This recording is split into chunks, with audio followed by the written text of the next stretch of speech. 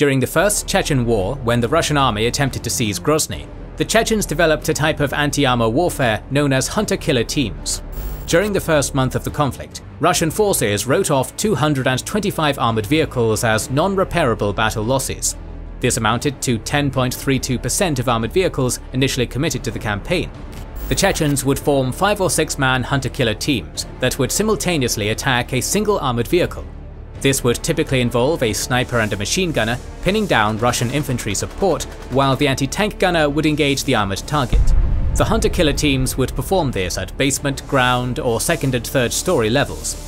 The elevation and depression of the Russian tanks' main turrets and guns made them incapable of dealing with hunter-killer teams facing them at different elevations in simultaneous attacks.